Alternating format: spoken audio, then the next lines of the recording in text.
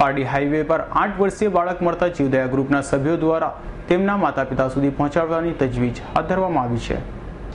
પાડી નજીક આવેલા ટોલનાકા સામે આજ રોજ મંગળવારના સવારે બગવાડા સ્ટેશન પરથી ઉતરી એક બાળક કરણ રમેશચંદ્ર, જે યુપીના રામબરેલી, કાનપુરના આઠ વર્ષીય પોતાની માતા સુનીતા રમેશચંદ્ર તેમજ તેના અન્ય બે ભાઈ બહેન જોડે ગુજરાત ટ્રેનમાં આવતા હતા. જેમાંથી કરણ રમેશચંદ્ર નામના બાળક બગવાડા હાઈવે પર માથાભાઈથી વિખૂટા પડી જતા સમયે બગવાડાના ચેતન નામના વ્યક્તિએ જીવદયા ગ્રુપના ભાવનાબેન પટેલને ટેલિફોનિક બાળક વિશે જણાવતા આ બાળકને પારડી જીવદયા કાર્યાલય ખાતે પ્રમુખ અલી અંસારીને સોંપવામાં આવ્યો હતો. ત્યારબાદ આ બાળકને જીવદયાની ટીમે નવડાવી ધોવડાવી કપડાં બદલાવી, તેને સારી સુવિધા સાથે દેખરેખ રાખી આ બાળક ક્યાંનો છે અને માતા પિતાનું સરનામાની તજવીજ હાથ ધરી હતી. અને પારડી પોલીસને સોંપવા ટીમના સભ્ય અશ્વિન દેસાઈ, કેયુર પટેલ, અનિલભાઈ વગેરે સભ્યએ મદદરૂપ બન્યા હતા.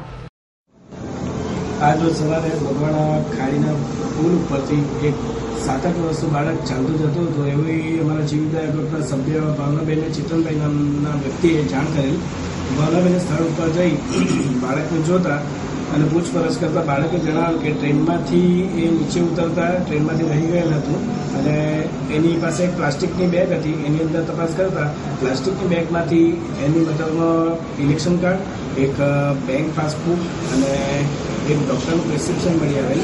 જે ડૉક્ટરના પ્રિસ્ક્રિપ્શનમાં ડૉક્ટરનો નંબર હતો, એના ઉપર અમે જીવદયા ગ્રુપ દ્વારા ફોન કરતા.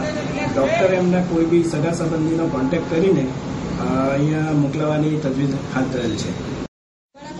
ખાડી પરથી જતું હતું વાપી તરફ અને બગવાડાના ચેતનભાઈ એમનો મારા પાસે ફોન આવ્યો કે ખાડી ઉપરથી એક બાળક જતું છે અને અમને મળ્યું છે.